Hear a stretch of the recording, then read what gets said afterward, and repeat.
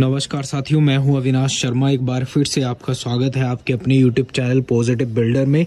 तो आज मैं आपको बताऊँगा फ्रोक के बारे में। फ्रोक क्या होता है देखिए, जब आप जो है वो ब्रिक मशीनरी करते हैं तो ईंटों के ऊपर जो है, जहाँ कंपनी अपना नाम लिखती है या फिर जो मैन्युफैक्चरर है, वो अपना नाम लिखता है अपनी ईंटों के ऊपर। जैसे कि यहाँ पर जी बी सी लिखा हुआ है।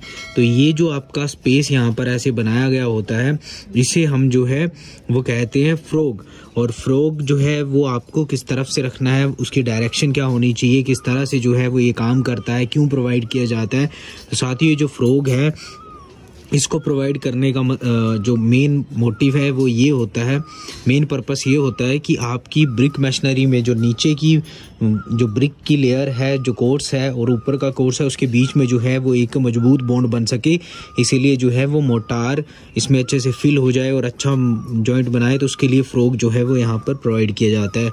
और ये जो फ्रोग है, वो हमेशा आपको ऊपर की तरफ़ रखना है। जब भी मशीनरी करें तो आपको जो है वो ईंट को जहाँ पर ये फ्रोग बना होता है या फिर जो इस तरह का स्पेस बना होता है, उसे ऊपर की तरफ़ रखना है, ना कि इसे नीचे की तरफ़। कुछ लोग क्या करते हैं, कुछ मैशन बड़ी गलती कर देते हैं कि वो फ्रॉक की डायरेक्शन को जो है, वो डाउनवर्ड रखते हैं। तो हमेशा ये जो है वो अपवर्ड होना चाहिए अपवर्ड डायरेक्शन में होना चाहिए। इस बात का आपको हमेशा ध्यान रखना है ताकि आपकी दीवारें जो है, आपका घर जो है वो मज़बूत व सुरक्षित बन सके।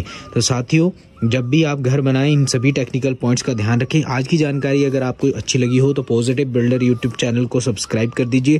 बेल आइकन को प्रेस कर दे ताकि इस तरह की महत्वपूर्ण वीडियो और जानकारी आपको समय पर मिलती रहे। आज की वीडियो में इतना ही, मिलते हैं नेक्स्ट वीडियो में। तब तक के लिए बाय आपका दिन शुभ धन्यवाद।